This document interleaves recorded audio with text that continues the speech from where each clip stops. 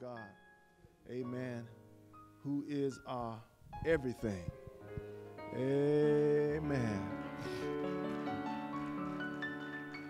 He is so loving and so kind. I just truly thank him for even having me on his mind. Amen. If spirits have minds and if they think, because there's so much about God I won't proclaim to know. I only say what I hear folks say and what I think about. But we really don't even know who God really is. Amen. Anyone that could sit on top of lightning and thunder as a chair, I don't know how you know that person. Uh, uh if it's a person. Amen. But we certainly understand he is merciful and loving. And to his Savior, his sweet Son, Jesus Christ, who secured our salvation. Amen. To the Holy Ghost that abides in the hearts of every believer. Amen. I'm not going to categorize whether you have it or not. That's your business. Amen. But you have a right to the Holy Ghost, or in some cases, Holy Spirit. Some people now act like Holy Ghost is a misnomer, but it's not. Uh, that was in King James before the NIV. Amen. And, and it's in the Greek. So they had that in the original language. Amen. We honor our esteemed clergy on today. God bless you, Prophet. Amen. To the absence of Elder Ronald Relf and to Elder Bruce Relf, amen. We bless the name of the Lord for them. To all the men of the house, if you're in your place, amen. The Bible said, Oh, find me a man. Amen. If you're in your place, you are blessed. Amen. And to all the mothers of Zion, to the missionaries, amen. God bless you. To all the doorkeepers and the Levites and praise worshipers, we honor God for you on this morning. Amen. Amen. And we certainly are thankful and blessed this morning to have with us District Missionary. Amen. Gwendolyn, Yvette, Relf. Amen. I want to say to the saints, thank you so much for what you've done. And I think we're just about out of the woods in a sense because we won't need you to, to, to bring us any more victuals. Amen. Amen. And we thank you for your diligence and for your concern and for your love and for your most esteemed dishes that you sent. Amen. I tell you, they, they really they, they really did uh, help. I kind of felt like uh, my son did when he was young. Uh, I kind of felt like, man, being a preacher have benefits.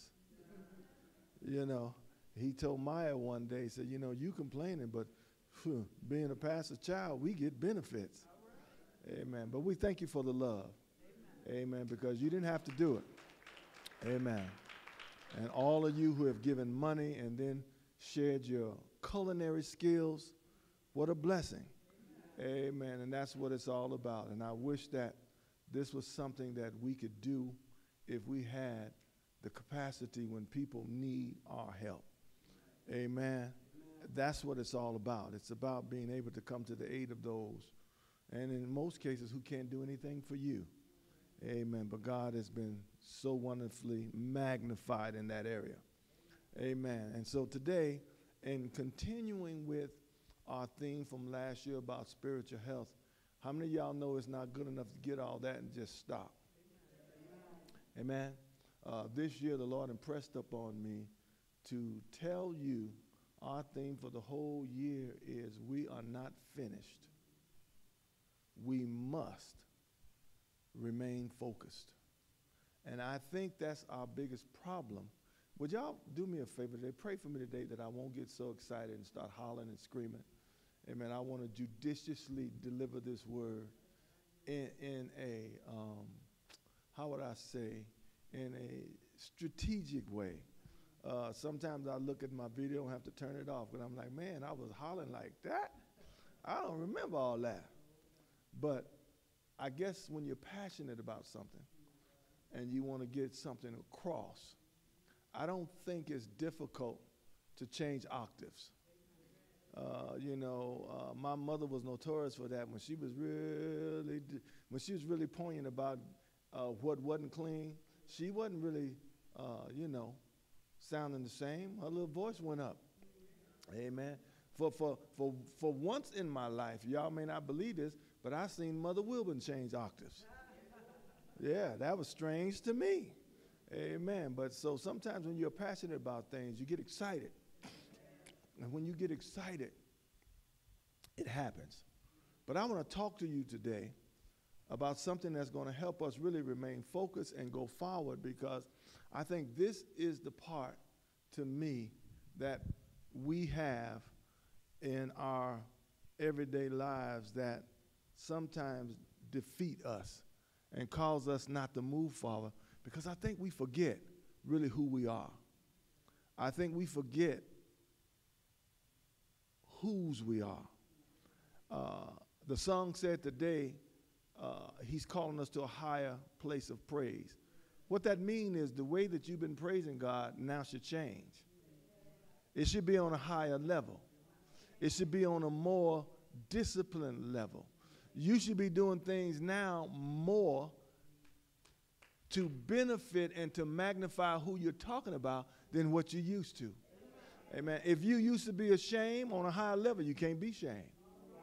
If you barely clap your hands on a higher level, you got to clap them till they hurt. Amen. Uh, because anytime you move forward, you're getting better. It's when you stay the same that's dangerous. But our theme today is our Christian life must begin with faith. It doesn't matter how long you've been saved, if you didn't begin this lifestyle by faith, it's going to be difficult for you to move forward. It's okay to be invited to a church. It's okay to, to come and join. It's okay uh, to hear the choir and to do all these little majestic things. But if faith is not the premise, you will be barren and defeated in everything you do. Not only will you not have a strong mind, you will be more than double minded because your mind will not be able to sync with God and you can focus on the disciplines that need to happen. Amen. So faith is one of those disciplines and anchors that keeps you in a certain posture regardless of what's going on. In other words, your circumstances doesn't dictate how strong and robust your faith is. The circumstance only comes to see and to prove to you whether you believe what you've been talking about. Because could I submit to you today, and I know you probably never heard this, but there is nothing that could kill your faith. Got one taker. One person clapped their hands. But see, that shows how far we are off from what the origination is. The Bible said, Our faith overcometh the world.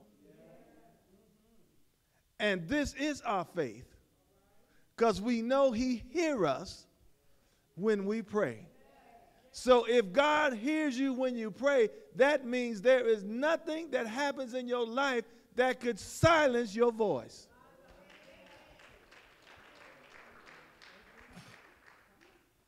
So 2 Peter 1 and 1 says it like this Simon Peter, a servant and an apostle of Jesus Christ, to them that have obtained like precious faith. Highlight that.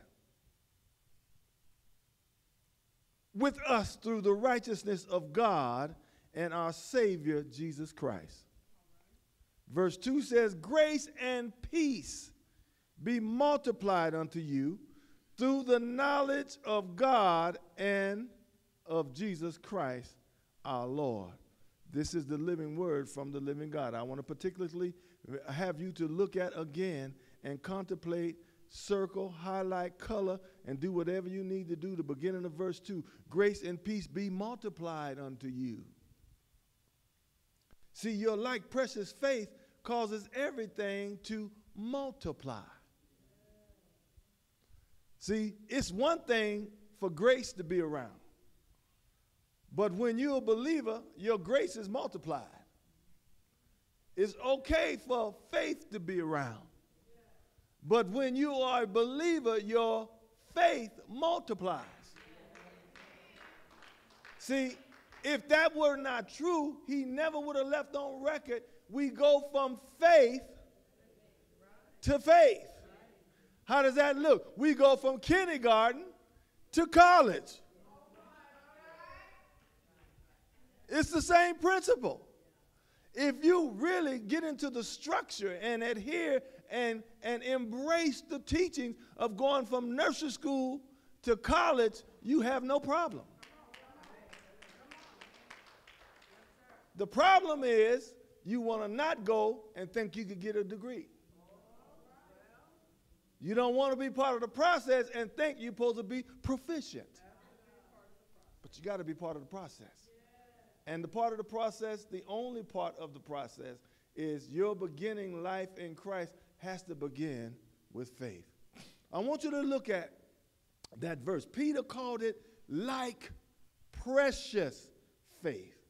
Look at your neighbor and ask your neighbor, neighbor, what kind of faith do you have? Now, for mo- most of y'all, y'all just been calling it faith. But the Bible calls it your most holy faith. Peter calls it your most precious faith. It means that our standing with the Lord today is the same as that of the apostles centuries ago. What is Peter saying? Peter is saying you have the same precious faith that Jesus had. Oh, oh, oh, oh. How many of y'all think, because I know you have, that's why we've been doing the way we've been, we've been doing. How many of y'all think that Jesus and those apostles had something different than y'all had? Don't say no, because it is true you thought that. You know why most of us thought that? Because when things start happening to us, we try to say, you know, only if I could have been there when Jesus was there. Only if I could have really met Jesus, maybe I'd be a little further along. That's not true. Do you believe our Father will give you a substandard faith? Do you? Y'all scared to answer that. You know why you won't answer it? You know why you won't answer courageously? Because all your life, that's what you've been thinking. You've been thinking the faith you have ain't enough. Thank you, my sister. Thank you. Thank you. You've been thinking the faith you have is not comparative to what you've been reading about. This is why you haven't been able to perform miracles for God. This is why you're wishy washy. This is why every now and then you up and you're down. This is why you really feel like you're saved today, but when something happened next week, oh, what's the use? But Peter called it, he was writing to these people in, in, in Asia, and he said, the people who have the most precious like faith. He didn't say precious different faith. He said precious like. It's impossible for you to have a child and they look like you and you make them subpar. Okay, I'm sorry. I'm sorry. Let me say it like this identical twins cannot be inferior to one another because they're the same. They look the same. Some of them even have the same mannerisms. Oh, y'all not going to talk to me. So, what I'm trying to get you to see today, because see, I want you to move forward. We have the same precious faith God gave Jesus. We have the same precious faith that Peter and Paul had. We have the same faith Moses had. You don't have nothing subpar. God has given you all things pertaining to godliness and holiness. In other words, when you come to church and believe God, you are a complete saint. But the problem is, I start hollering, didn't I? I caught myself.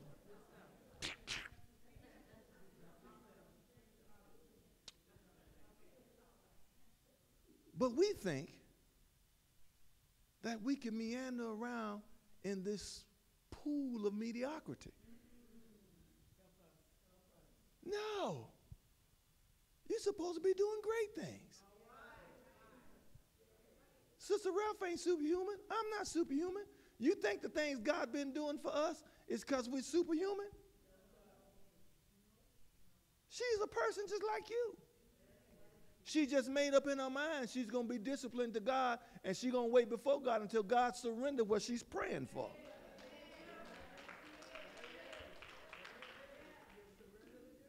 See, when you understand what you got on the inside, he even said that he won't deny faith. So if he gave you something to please him, why are you crying about what you can't do?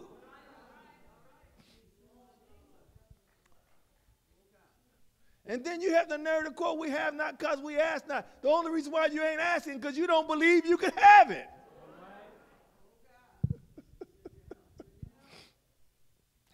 Lord Jesus. This may take a couple of messages, but I need to get this across.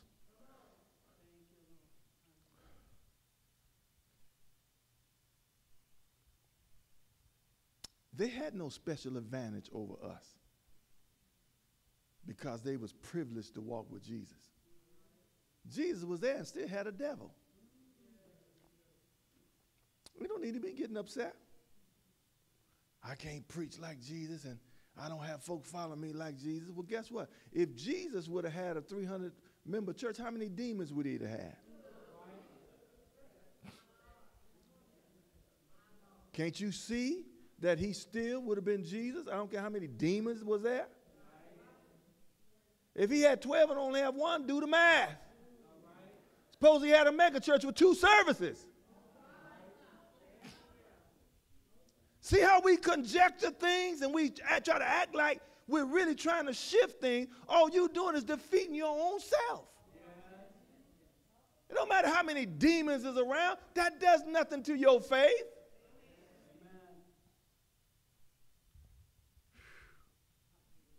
Only if I could see him with my own eyes. Only if I could share the same miracles. Well, they saw all that. And could I submit to you, even after he told them who he was and what he wanted them to do, do you know them church folks put their faith down and went fishing? What do you think Easter's about? The cliff notes is Jesus died, and when he came back to see how they was doing, they all left the church. That's what Easter's about. That's why he rose. They couldn't stay saved three days. And they looked at Jesus every day for three and a half years. He was their pastor. How, how, how demoralizing is that for a pastor? You teaching folks, teaching them, and you get hurt and come back and the church is empty. How much sadness do you think Jesus had to have? He even asked him, said, Have I taught you this long? Oh, ye of such little faith. And he tried to give them faith and I don't believe Jesus was teaching something subpar to them. He was teaching them what God wanted them to know.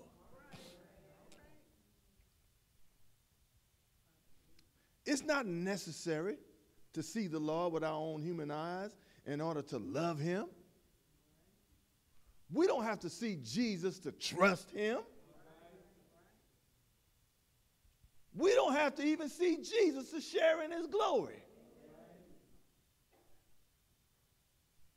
And you're pivoting from your own steadfastness because you don't understand who you belong to.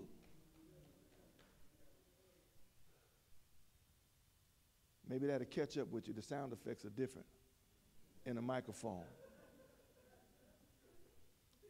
I'm, wait, I, am waiting on the boom to hit y'all. Y'all ain't heard it yet?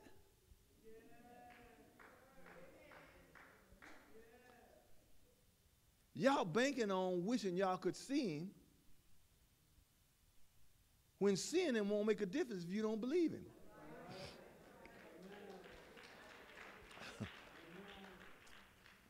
they saw Jesus and didn't believe it was Jesus. If they believed him, they wouldn't have called him Elias. If they really believed him, they wouldn't have called him or some prophet.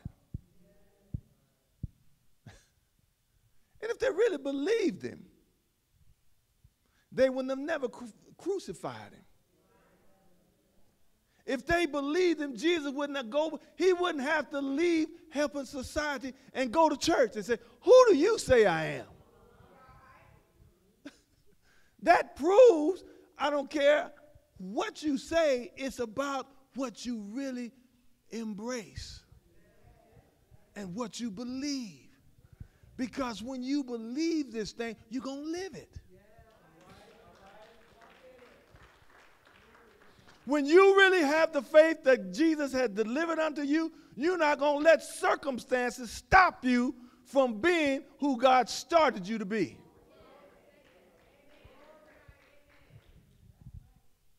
See, there'll be a time in your life where you get tired of you defeating yourself. Cliff note. The devil don't have nothing to do with what's going on with you. Blame it on him if you want to, but you can't blame him on what he's doing to you and somebody else is getting that done in, in Chicago and then somebody else is getting that done in Sacramento. The devil's not omnipresent. See, we, we, we, we don't even believe the, the word. The only one that's omnipresent is God. He's the only one that could be everywhere at the same time. And we blame Satan. No, it's you. It's you because you don't believe what you have.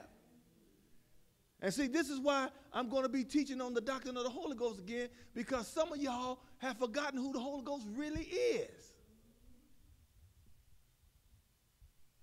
You have a power in you that could never be defeated.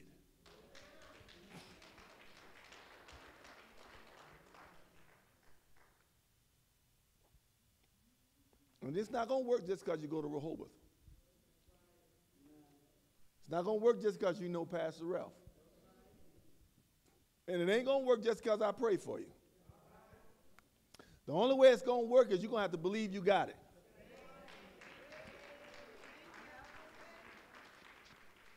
Let me ask you a question.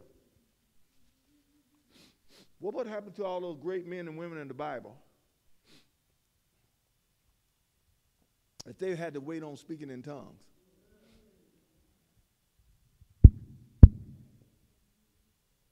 Holy Ghost hadn't even got there yet. But Moses was calling locusts and hail and you know why? Because God told him what was going to happen. He believed it. He didn't have no Bible to turn to. Let me see. You know, the Bible said, trust. To, uh, you know, they don't even can't even quote the scriptures. The scriptures uh, uh, test the spirit by the word. The Bible don't say that. They say try the spirits and see whether they be of God. See, you can't try no spirit if you don't believe you have a spirit.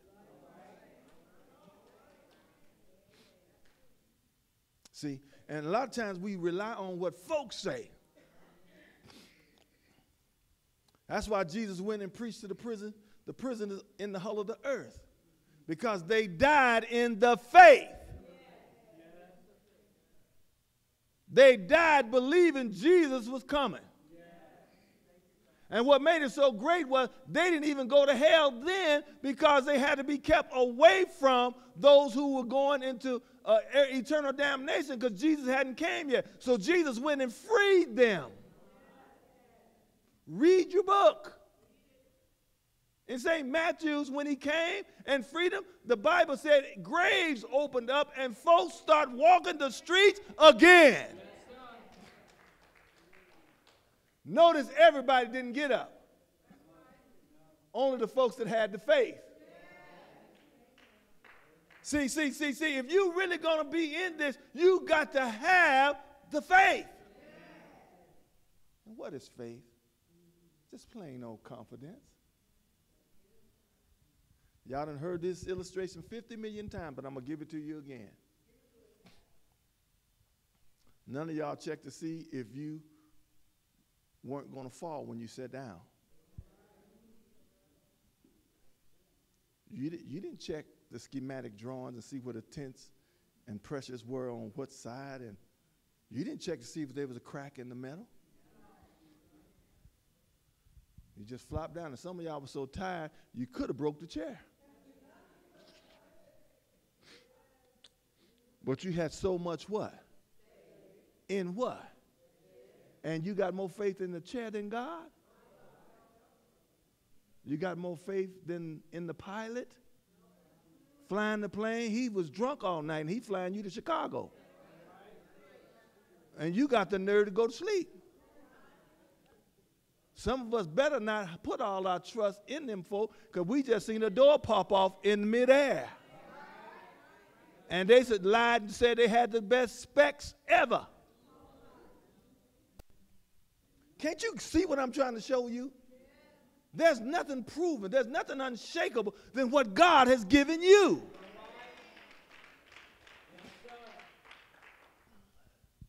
First Peter 1 and 8 said, Whom having not seen ye, ye love. In whom though now ye see him not, yet believing, you rejoice with joy unspeakable and full of glory, receiving the end of your faith, even the salvation of your soul. In other words, at the end of your faith in this life, your reward is going to be salvation. You haven't seen him but you've been believing him. And some kind of way you have unspeakable joy and it's full of glory.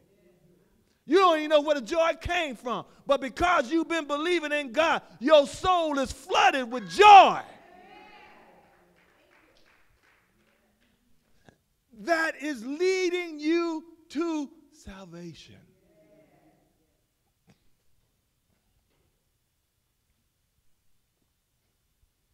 This faith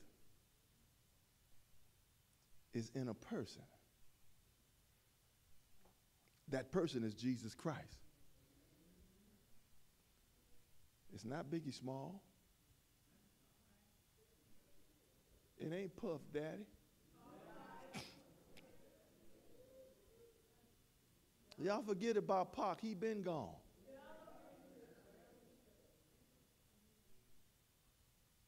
The only person your faith need to be in is Jesus. See, I can't hardly, I can't, I haven't, I haven't, I haven't, I haven't broke through this, this, this staunch wall y'all have. Nothing excites y'all. Nothing moves y'all because y'all gonna believe in who y'all want to believe in.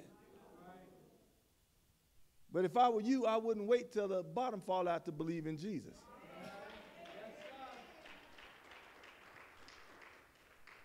See, even, even, even Pastor Winans had to tell all the people at Whitney Houston's funeral. I was so glad he did it. He said, Y'all getting up here talking about faith and about this happened and that happened. He said, You can't add faith at the end of your life. He said, You got to have faith all through your life. So you can't just believe in Jesus and you about to go. You should have been believing in Jesus that started this thing. And I don't care how many ups and downs you have, you believe him until the end.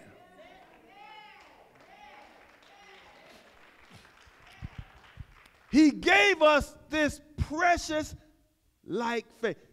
He didn't say precious different faith. We have the same faith.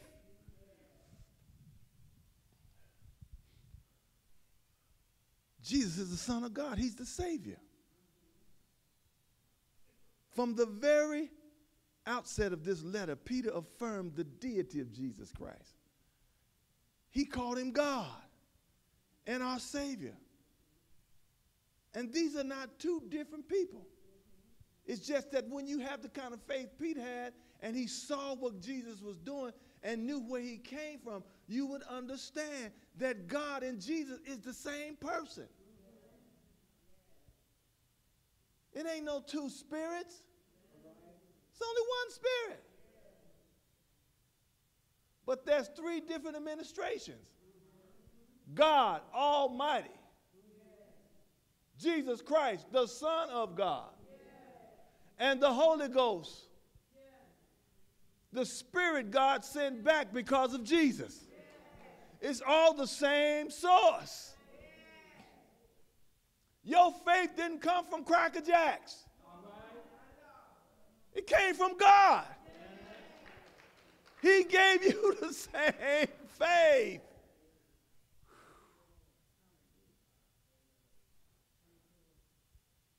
Paul even used the same similar vernaculars. You can check that out in Titus 2 and 10. I want you to read it. Titus 2 and 10 when you get a chance, and I want you to read Titus 3 and 4.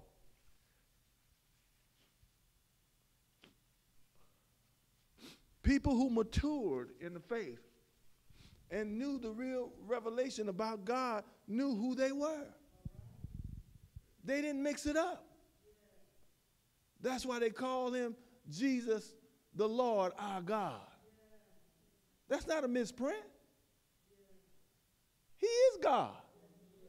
Second Corinthians 7 tell you, and God was in Jesus, reconciling the world back to himself. He had to do it or no, because nobody else could do it. Oh, Lord. Paul reminded his readers that Jesus Christ is the Savior by repeating this exalted title all throughout First Peter. And it wasn't strange. Let me tell you why. I got a few more minutes. I'm not done, but let me tell you why. See, you have to understand God and Jesus' plan of salvation wasn't coming to totally be exclusive. God always uses familiarities. For instance, Jesus never taught farmers anything about laying bricks. In the Bible, whenever he used parables to farmers, he always talked about farming. He always talked about vineyards and cattle and wheat and all that stuff. Then, when he called himself the wise master builder, he talked to those folks who knew how to build. And then he even talked about the chief cornerstone, which is what you have to have in a building. What am I saying? I'm saying to you, God is always going to use stuff that you are familiar with so he can reveal who he is through the same thing you know about. He would be unfair to give you something and you don't understand it. See, how can God give you mysteries and what he's trying to tell you, you don't even know the subject matter? That's why the Bible said he'll bring all things back to your remembrance. But if you don't read nothing and remember nothing, what is he going to say to you? I don't never hear God talking to me. Well, you probably a person don't never read the Bible. Tell me how I could be out on the track running, and the Holy Ghost is talking to me and give me a revelation about what to preach, and I'm running. Why did Paul talk about running a race? He was talking to those Olympians and people who knew about the marathons. He couldn't even style that going to heaven if he'd have told them sitting at home watching TV, it wouldn't have made sense. so the first clue is you need to understand God not going to be so mystical. He going to use something that you don't understand. I just want something deep. No, you don't. You know why you don't want nothing deep? Because he told you you don't leave the first principles of Christ. He deals with principles. And for some of you all who can't be principled and discipline, it's going to be hard for God to deal with you. That's why you can't live life any kind of way. God is not the God of what? and your life is full of chaos. How is God going to talk to you? You won't obey the street signs. You won't obey the pastor. You won't follow no rules. You won't even budget your own money. How is God going to revelate to you? See, we need to stop all that if we're going to move forward. If you can't obey what God has before you, how can he come out of the cloud and talk to you? You gonna do what he say?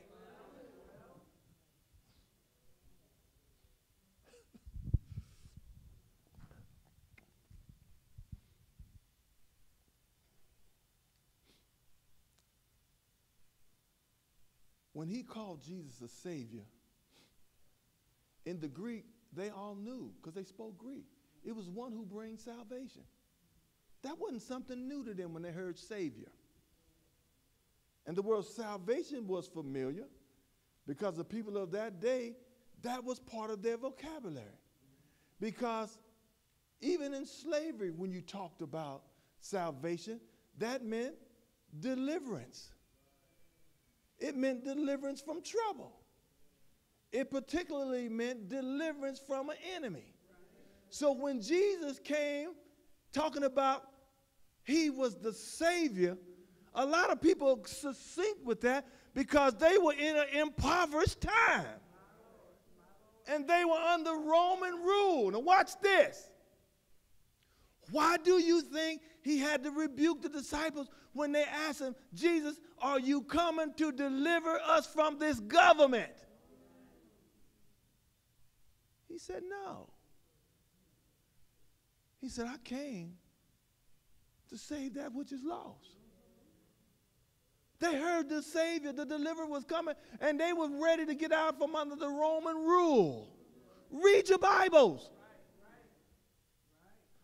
And, they, and that's when Jesus said, Let them render unto Caesar. What's it? In other words, all this political stuff, let them deal with that. I ain't dealing with that. Why do you think most slavery songs are dealing with getting victory over the enemy and being free. Because they knew what salvation was. They did not have Bibles, they couldn't read, but they knew what salvation was.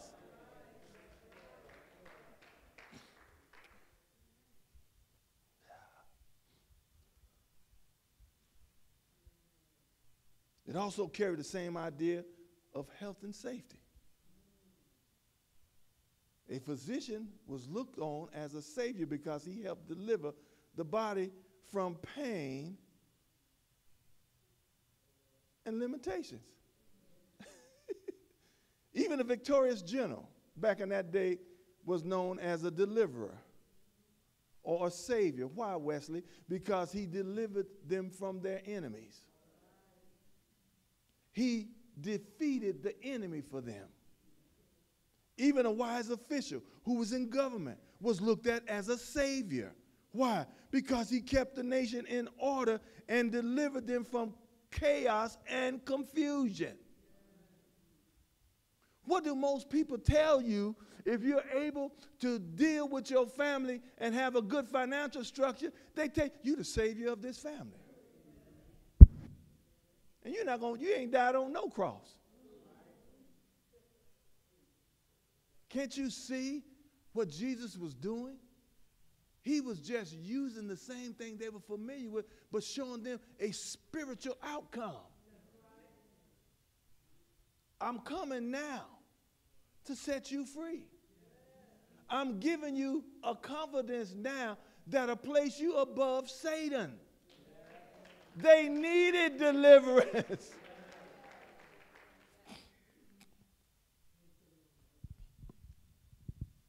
it requires little insight if you really understand to deal with the title Savior and how it applies with Jesus Christ. He is indeed the great physician who heals the heart from sickness and sin. How many times did Jesus have to tell us that? What was their biggest fault with Jesus? Among publican and sinners. But what did Jesus say? Jesus said, Those that are healed need no physician. I'm coming to those who sick. They the one need a physician. So y'all sitting up in all these robes, being grand, talking about what you know and what you got. I don't need to help you. But there's some people over there barely can hang on. Minds is jacked up. I need to go get them out of lunacy and lunatics. I need to bind the devil. I need to stop that boy from throwing himself in the fire and coming out. Come on, somebody. I am the great physician. and they still didn't get it. Guess why? That's a question. Because they didn't have no faith in Jesus. That's the only reason why they didn't get it. They didn't want to believe who he was. Ah. He is the victorious conqueror who has defeated our enemies. I don't know. I don't have too many enemies. You know, the devil, the devil, the devil. Let me help you out. Your number one enemy is sin. I wish I had some takers on that. Your biggest enemy is sin. And he defeated sin for you. If you have the faith, he said, for this reason only, Jesus came to condemn sin in the flesh. You could walk around as a fleshy person and yet be sinless. Your second enemy is death. You know the one y'all scared of. He delivered you from death. Woo! Grave! You can't hold me down. Death! You ain't done nothing to me. A little mosquito bite. Where's your sting at? Somebody better talk up in here to me. You talking about it was treacherous? I done went through death, and oh, what a sweet time I had.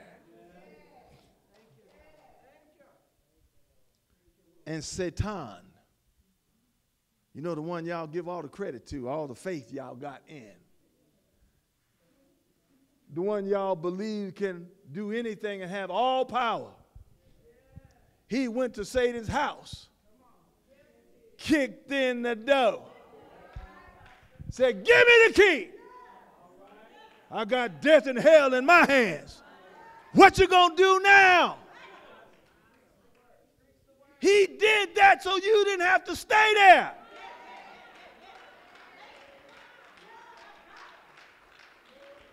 And all those who died in the faith, when they said, wait, wait, wait, wait, wait, wait, wait, wait. That sounds like Jesus. Get up, get up. Jesus. Here come Jesus. He got them folks who died 42 generations before he got there. And got them out. And then bragged about it. So I got the keys of death and hell in my hand. They used to hang on the wall, sister, but I took them off the wall.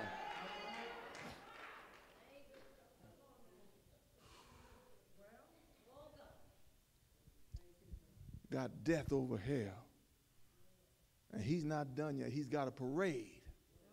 But you don't want to get in it. He's leading the parade in triumph. He's got the victory. and then gave you the victory over sin, over hell, over death, over the grave, even over Satan.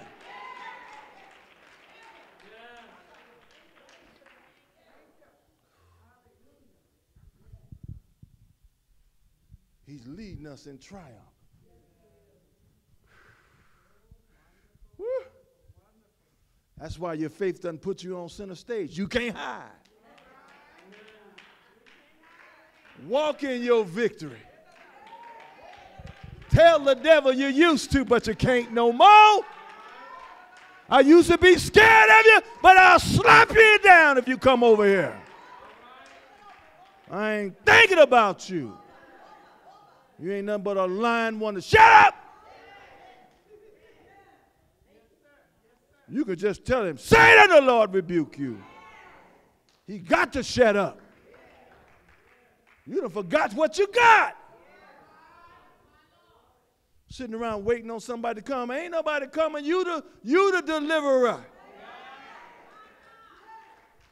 You're the tree of righteousness. You're the one with the praise. You're the one with all the glory.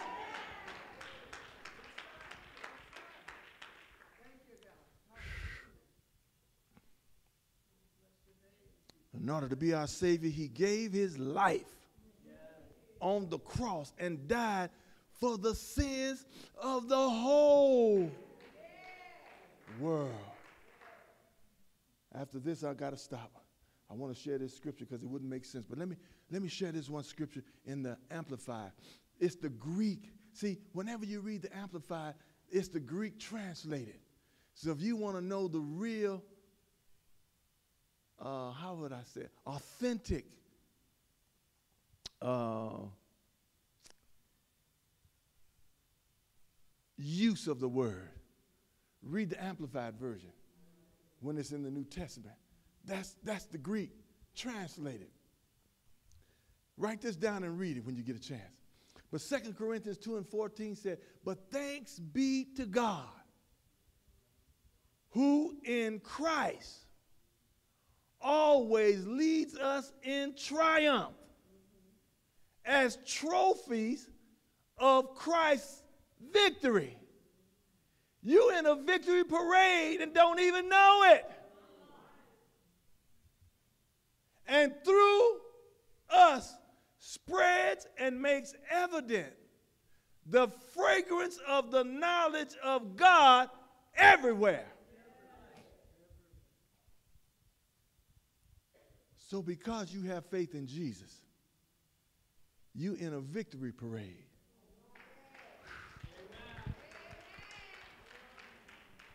Because Jesus is leading the parade. He didn't already brag. I got the keys. And Father, I gave everyone eternal life who you gave to me. None of them gonna perish, but the Son at the now. If you ain't Satan, that means you ain't gonna perish. Oh. We walking behind Jesus, and Jesus is bragging about, look at all my trophies I got. Look at all my folks that believe in me. Look at all my folks out and delivered from drugs and demons and devils and the dope den. Look at all the folks that's following me now. I done took them out of prostitution, Backpage, and all the crazy stuff. These are all the people that's in victory right now.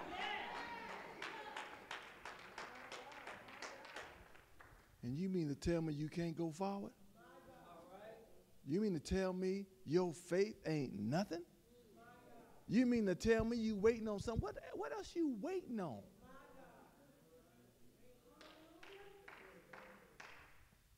The Bible said the time is now. Today is the day to declare the glory of the Lord. Today is the day to go on record and tell Satan, I got the victory. I got this most precious faith. I got what God gave me, and ain't nobody gonna cower me down.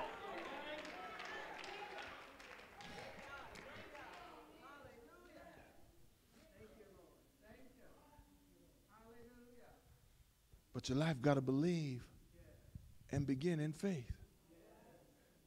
You can't get faith in the middle of this. Uh-uh. Uh, what happened to Peter in the middle? What happened to Peter in the middle?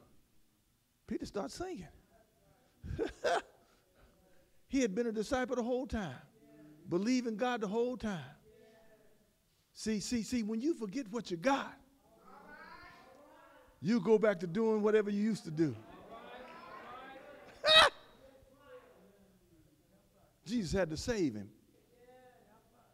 But, but at least Peter had the consciousness to say, Help me, Lord. Save me, Lord. How many of y'all feel like sometimes you're sinking? Just reach your hand up and say, Lord, save me.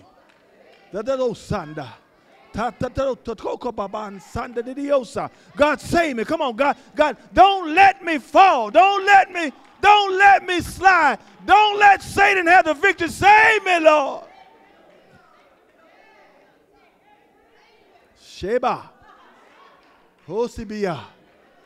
And then the master of the sea, who heard your barren cry, will stretch his hand out and out of the water he'll lift you. You can say, Oh, save them I. Saved by his power divine. Thank you. Thank you for saving me. Thank you for deliverance. Thank you for grace. Thank you for mercy. Thank you for peace.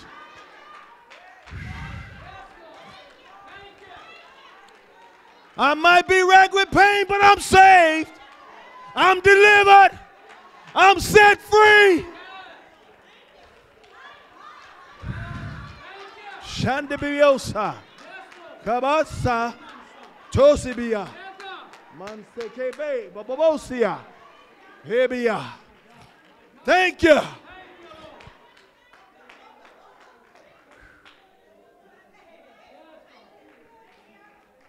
And let me help you out. Let me help you out because I'm trying to help somebody. You, it, he's there, but it's like gas. How how high you want the fire to burn? You just want to sit there and simmer all the time. It's going to take a long time. Try to cook a pot of beans with the fire this high. Huh? But when you ignite your praise, when you get excited about what God has done, when you lift your voice like a trumpet, when you shout to your king at the top of your lungs, God will deliver you. Shando, Shebaka, Taban Sande Bibiosia, Hosa. Thank you. He said he bless a glad heart. I dare you to get excited about God.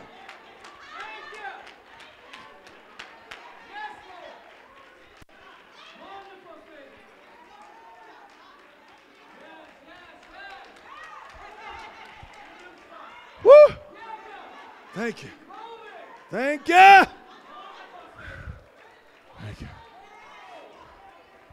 Don't you ever blame God. He's all power. Tell me I can't feel him. Turn up the heat. You can't feel him. Turn the fire up.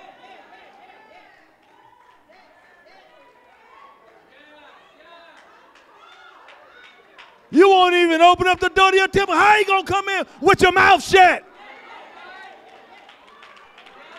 You don't never say thank you, Lord. You don't never say hallelujah. You don't never say, Lord, I love you. God ain't thinking about you.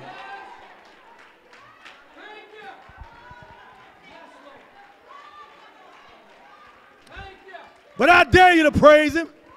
I dare you to thank him. I dare you to be glad. I dare you to start shouting. I dare you to let him know how much you love him.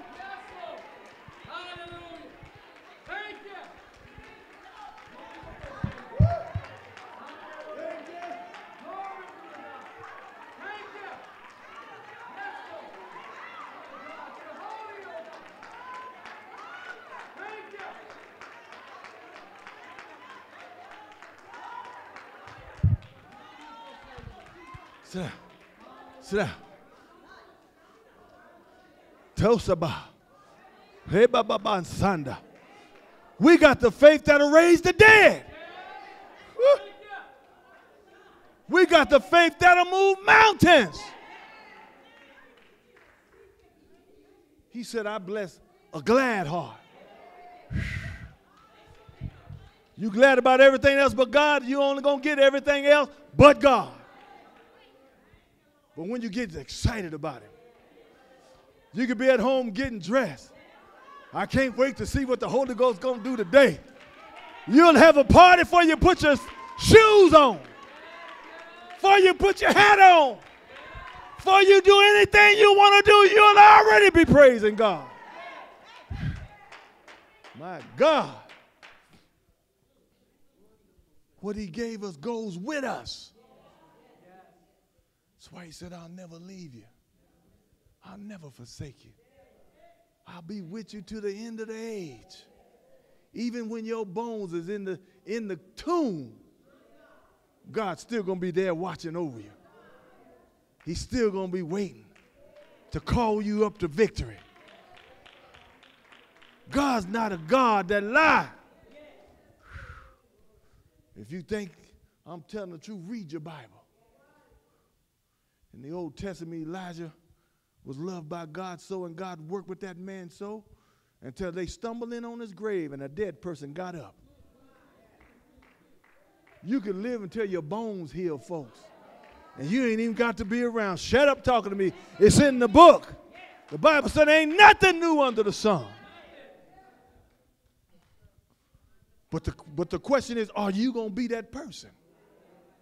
Are you going to be that person that still can bless folks? You ain't even here no more. But because of what you lived, oh, y'all ain't to talk to me.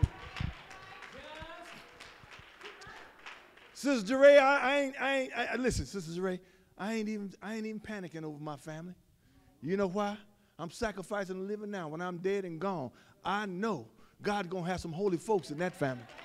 I'm living now, so the folk coming behind me. I don't even know their names, Sister Yolanda, but the ones coming behind me gonna have the Bausatio. Cantadosata. They gonna the They're gonna be connected to God because of what I did. Yes, sir. Yes, sir. That's why I'm living like I'm living.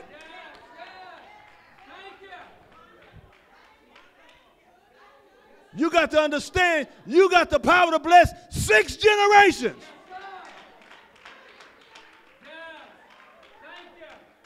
I don't want my generation struggling like these folk today.